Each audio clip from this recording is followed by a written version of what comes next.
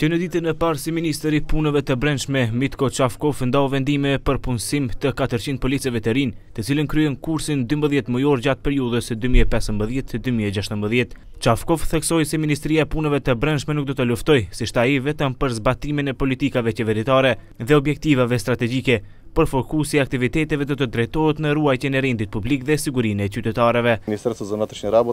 Në pajtim me Strategjitë për menaxhimin me resurset njerëzore për vitin dy mijë e gjashtëmbëdhjetë, do të përforcohemi me katërqind zyrtarë policorë të rinj, të cilët shpresojnë se për një vit do të jenë në funksion të plotë në MPB. Kjo të thotë përforcim i kontrolluar i kapaciteteve të kësaj ministrie për zhvillim të mëtutjeshëm të saj.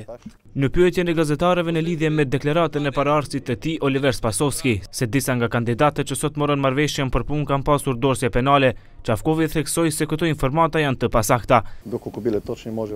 Po të ishin të saktë, Spasovski ka mundur të inicojë procedurë për ndalimin e marrëveshjeve për trajnim.